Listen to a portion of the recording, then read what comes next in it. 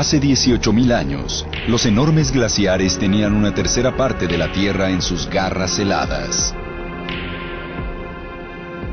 Estos ríos de hielo se abrían paso por las montañas, hacían añicos las grandes rocas y aplanaban la superficie.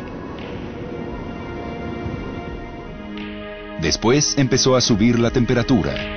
Los glaciares empezaron a retirarse y cambió el paisaje. Los glaciares ayudaron a que se formaran los lagos y las fértiles tierras del medio oeste, los fiordos, los picos de la Patagonia y el Valle Yosemite en California. En este sitio los glaciares arrasaron todo a su paso por las montañas, formaron un valle en forma de U y dejaron escarpados precipicios como el Half Dome.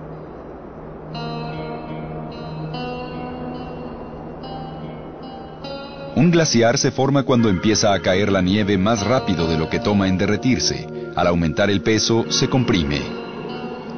Los ligeros copos se convierten en nieve granular. Al paso de los años, aumenta el peso de la nieve acumulada en la parte superior.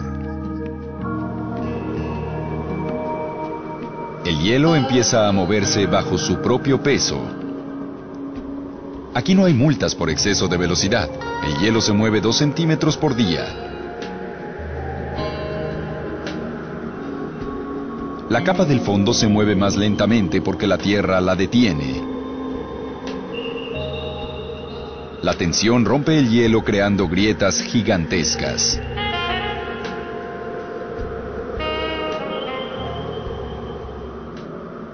El calentamiento al final del período glacial redujo los glaciares, pero no se acabaron. Hoy en día, más de la décima parte de la Tierra todavía está cubierta por el hielo y el hielo encierra un tesoro de información. Cada año el científico Keith Ecklemeyer mide el glaciar de Colombia en Alaska para pronosticar las tendencias climáticas. El Columbia ha retrocedido 12 kilómetros desde su morrena, el montón de escombros que queda en el extremo del glaciar.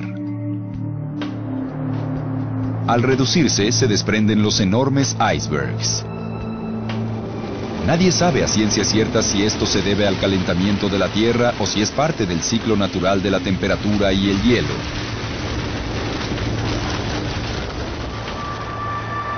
Los científicos descubren la historia del clima de la Tierra estudiando el aire atrapado en el hielo. Y pasan por alto el clima actual para buscar pistas del próximo período glacial.